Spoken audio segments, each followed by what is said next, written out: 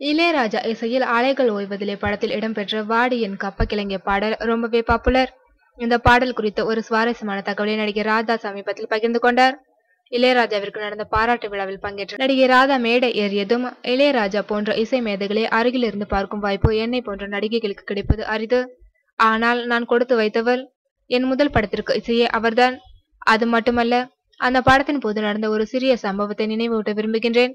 அலைகள் ஓய்வதில்லை படத்திற்கு நான் தான் நாயகி என்று முடிவான பிறகு என்னை பிரசாத் ஸ்டுடியோவிற்கு அழைத்து சென்றார் பாரதி ராஜா. அங்கே என்னை இளையராஜாவிற்கு அறிமுகப்படுத்தினர்.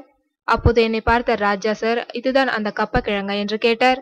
ராஜா சார் என்னை பார்த்த பிறகுதான் அந்த பாட்டு போட்டீர்களா? என்றார் சிரித்தபடியே ராதா.